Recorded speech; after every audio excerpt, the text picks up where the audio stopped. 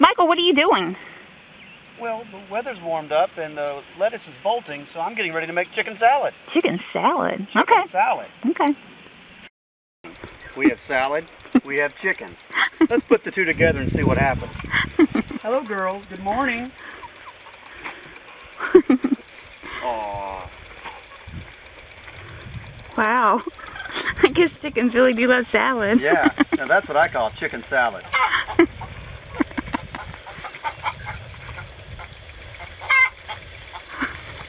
She's gonna get off the nest and come down here. Yeah. Some things are more important than reproducing. like having a good salad. Like having a good salad.